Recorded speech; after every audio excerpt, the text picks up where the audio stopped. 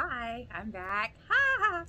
Hope you all enjoyed your new year, had a good one, and a good um, holiday, Christmas, Yule, whatever it is that you celebrate. Um, yep, I'm just kind of hanging out at the studio right now, not really doing anything in particular. Because why not? Uh, I had a bunch of running around to do today, so I thought I'd just come up here. Um, so, I mentioned something last time about doing a, a, a, a song a month, a choreography a month, and I finally picked out a song.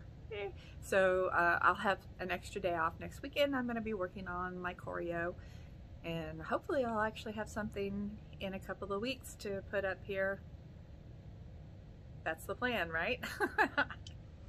uh, in the meantime, of course, you know, that's, that's if I ever get the Oculus off of my head.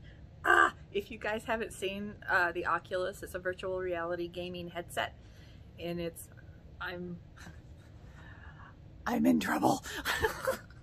I'm addicted to it. I got it Wednesday. This is Saturday. I've been playing with it almost nonstop, like every freaking day. I was so tired and so sore when I went to bed last night. I just like crashed hard. It was great. Um, but I love it. It's great fun. I've been fascinated with virtual reality for a really long time and they have some really great games and just fun stuff you can do and there's this meditation app I have. It's called TRIPP. It is. Um, I'm just really enjoying it a lot right now and uh, if, uh, if it does what I, I hope it does in a couple of months I might actually have some changes in my in my strength and body composition and all that good stuff. So uh, it's been a weird couple of weeks, folks. Yeah, I don't feel like I can post this up without saying something about the chaos that's been going on in Washington, D.C. Uh, yeah, what is that? Yeah, I'm kind of getting tired of living in historic moments, right? Okay, that, that's all I'll say there.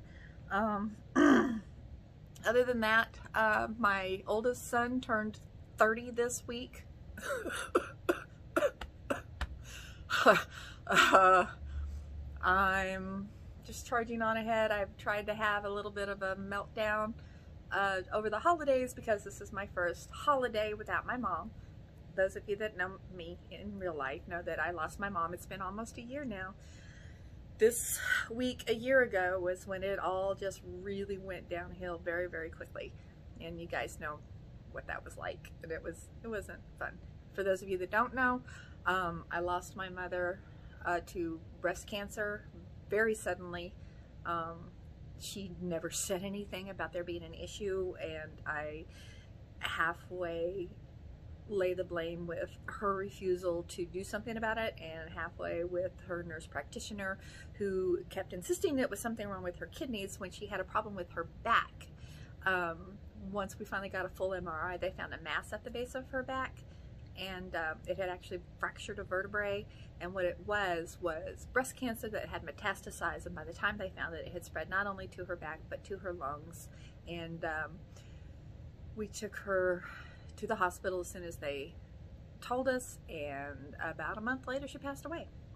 So this next month is going to be a little weird for me, a little difficult. I'm going to do everything I can to distract myself from what's going on. Uh, on top of that, we just finished all the probate stuff and uh, suddenly I own two houses. Yeah. so anyway, so weirdness in my life. Hey, uh, how's everybody else doing out there? Hope things aren't going quite so chaotic. Um, somebody said that this is the true beginning of the age of Aquarius this year, during this particular time of the year, and uh, that's why things are going haywire. If this is what's in store for us, it's like 2020 part two. What the hell, man?